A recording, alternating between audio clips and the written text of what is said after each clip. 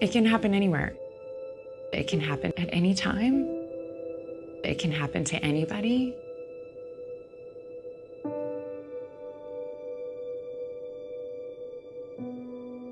You can't believe that it's happening. You really can't believe it. You feel like you're looking down from up above, that, um, you know, you're watching it happen to someone else because it can't be you. But it happened to me. I woke up and there was someone standing in my room. It happened when I was five. It happened in the home of a family member. I was raped at the end of a really long, nice time and a nice evening. We just said, you know, just lay here, come here, it just will be a moment. I trusted him because he was a friend of a friend. I told him to stop.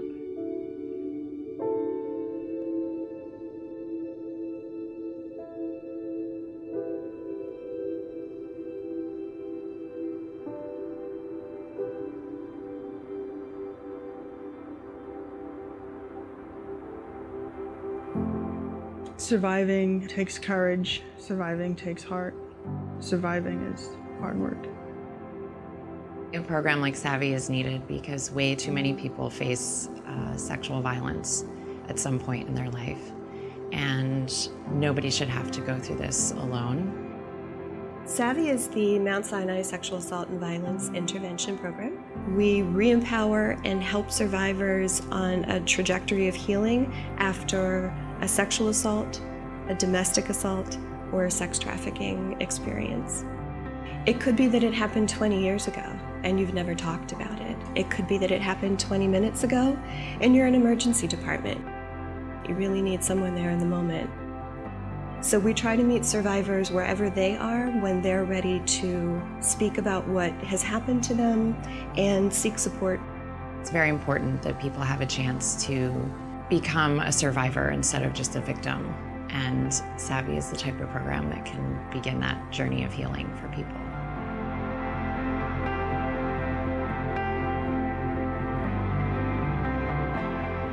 Advocates are the front line of what SAVI does.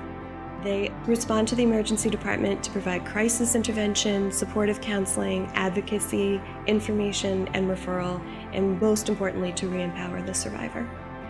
The emergency department is a very chaotic environment. It's very overwhelming for someone who's just gotten assaulted or beaten up.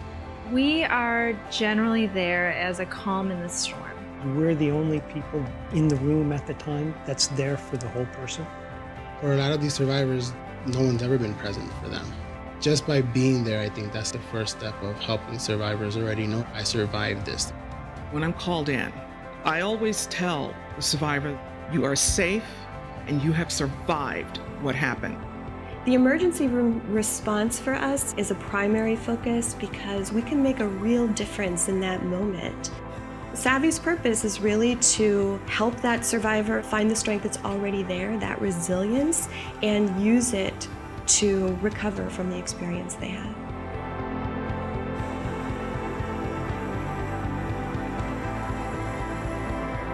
I am a survivor because I was able to move past my rape and turn it into something good. I'm a SAVI advocate so that I can help others become survivors. I know when I'm with a survivor in the in the emergency department that I'm making a difference. I can look in their eyes and I can help them begin to move forward.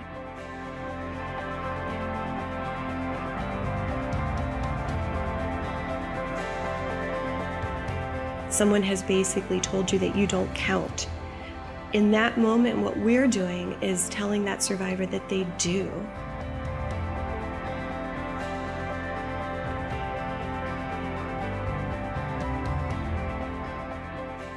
I am a SAVI advocate because I am a survivor and no one should ever have to be alone.